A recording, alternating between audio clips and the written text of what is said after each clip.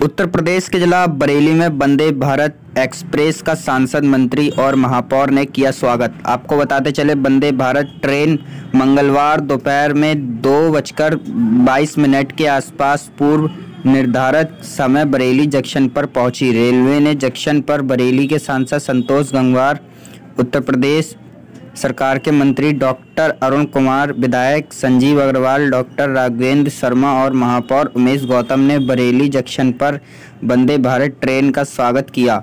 बरेली के सांसद संतोष गंगवार ने कहा कि यूँ तो बरेली से लखनऊ के लिए कई ट्रेन हैं, लेकिन वंदे भारत ट्रेन में सफ़र करने का अलग ही मज़ा है।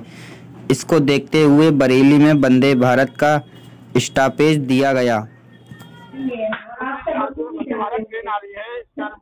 देखिए, वंदे भारत जो ट्रेन आ रही है, बहुत ही अच्छी ट्रेन है। ये अपने आप में एक यूनिक ट्रेन है। इसमें हर चीज़ की सुविधा है और ये कम समय में ज़्यादा डिस्टेंस पूरा करेगी।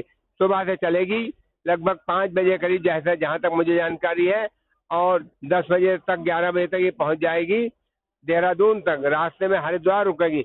बरेली लगभग आठ बजे आने का समय है। तो अगर बरेली से कोई जाना चाहे, हरिद्वार, जो लोग अक्सर जाना चाहते हैं दो घंटे में तीन घंटे में हरिद्वार पहुँचेंगे दिन भर नहाए शाम को चल के फिर लौट के बचाए इस तरह से हरिद्वार जाने में लोगों को बहुत आसानी होगी देहरादून जाने में आसानी होगी लखनऊ जाने आने दोनों में बहुत आसानी होगी।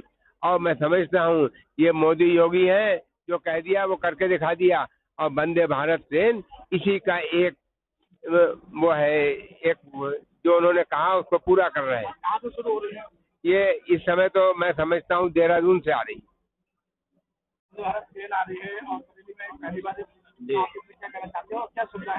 देखिए बरेली वासियों के लिए ये एक सौभाग्य की बात है कि यहाँ से देहरादून को और लखनऊ को जोड़ने के लिए ये वंदे भारत ट्रेन चल रही है।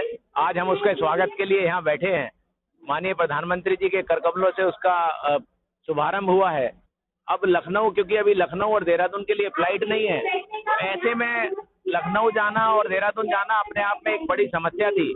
उस समस्या का समाधान होगा और बहुत तेज़ी के साथ लोग लखनऊ और यहाँ से मुरादाबाद, हरिद्वार होते हुए देहरादून तक पहुँच सकेंगे।